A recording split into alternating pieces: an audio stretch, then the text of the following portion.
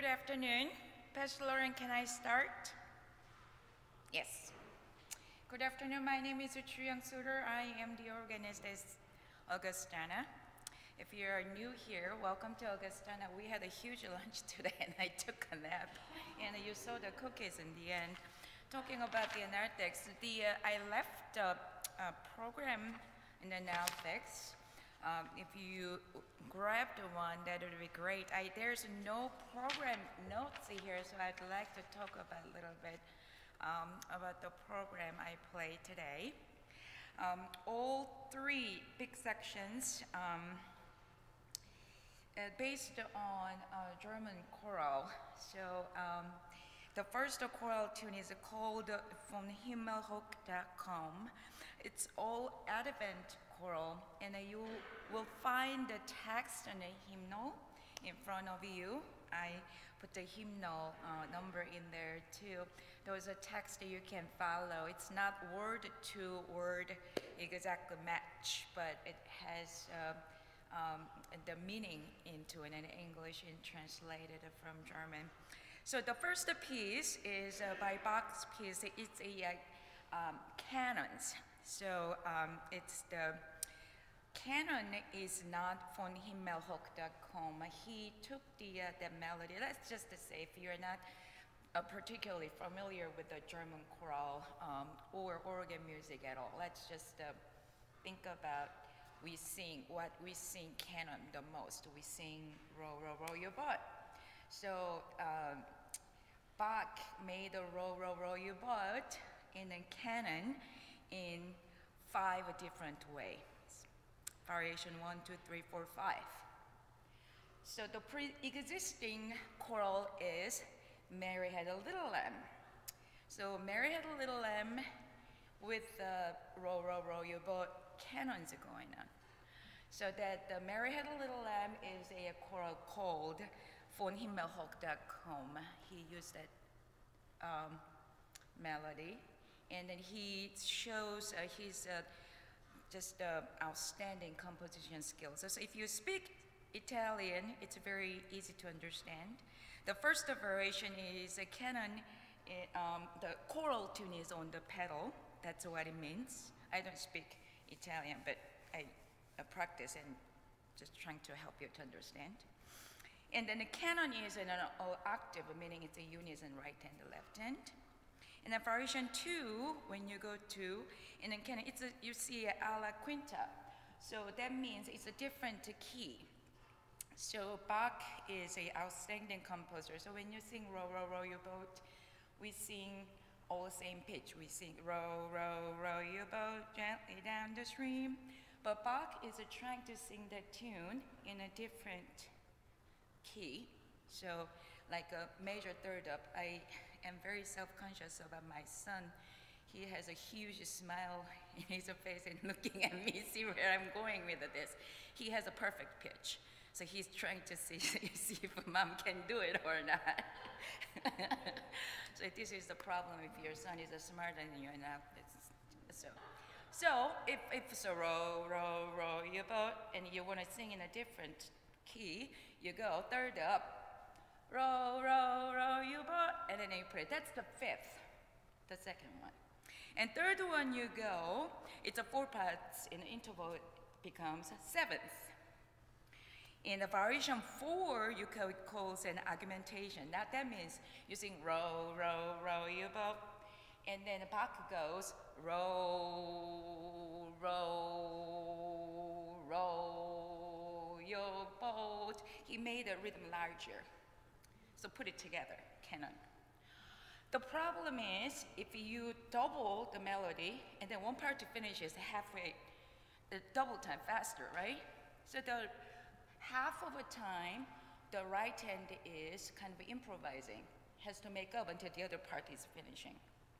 So that it has a beautiful improvisation style it goes on. So fifth one is this is uh, yeah, highlight. This is uh, climax. You begin with sixth, and then you change hands and you go to third. And then you change, go to pedal, it's a second. And then it goes to ninth. It all makes sense. Bach must be a brilliant um, uh, puzzle of. It's just put it all together, make it sound it together. And then the last four bars, it's the entire choral tune is it comes in all together, stacked in in harmony, and has a grand finale. That was uh, my attempt to try to explain the piece I'm trying to play here. I will play that the um, the uh, the uh, choral on Himmel hoch da komm. So just to pick one, see for what you hear. Don't worry about if you don't have a good ear, you get lost. You don't know, you can't choose which part I should follow. Every part is just beautiful, it's gorgeous. That's the Bach's, the beauty of uh, Bach's music. So just hope you enjoy it. I'll play the, uh, play the uh, choral tune before I start playing um, the, this uh, beautiful canonic variation, first piece.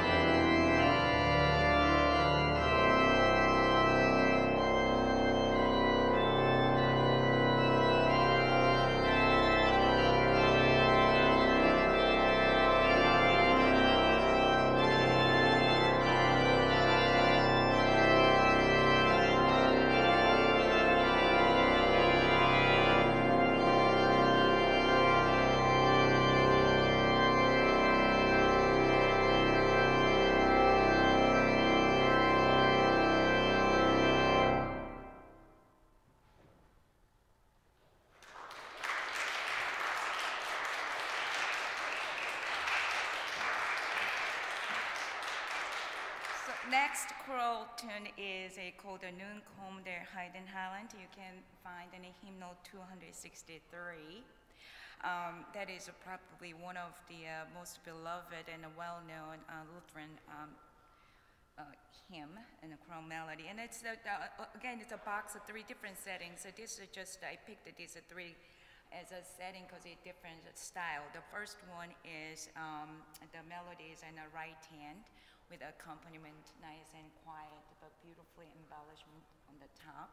And the second one is a, uh, uh, it's a, um, it says a trio, duo bassi, and a canto fermo. Canto fermo is a pre-existing melody that Bach used. In this case, it's a uh, Nun komm der Heiden Heiland. So he has a three parts of that. And the uh, third one is organo pleno is in an organ music. It's, it's a full organ. It's a big sound. The fugue uh, uh, style and it's a toccata style. So it's a same um, choral tune, and I'll play three in a row, and I will also play the uh, choral melody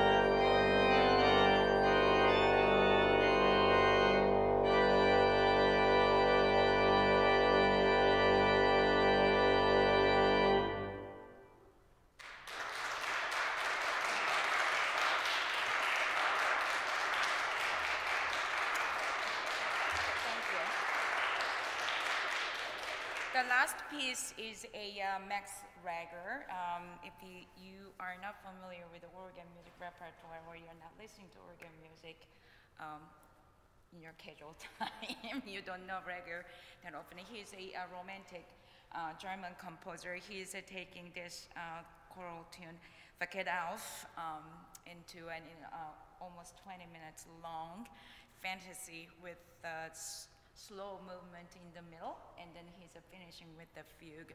You can find the text in the hymnal 436. It has three verses.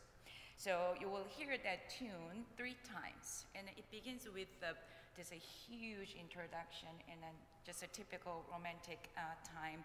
It, to me, it seems like uh, the contrast between dark and light is such a dark, and all of a sudden there's a light, and a really big chorus and a thick, uh, loud sound with a thick texture. You will hear that, and you finally starts hearing the choral melody. And then it goes on to second verse, and then that goes into slow, well, the finish of second movement. Then the third verse is it starts with a fugue. So it's a long fugue theme before you even start hearing the third verse. And then it ends with a glorious um, this tune. So follow the text if you find the hymnal, and those uh, some words uh, sticks out to you, and what how that those words um, inspired Max Max Reger, and it, um, he used that those inspiration in his music. So that's the final program, and thank you very much for coming today. And I saw some cookies on the back, so on the way out, I'll meet you out there, and then we can talk about the more music. Thank you very much.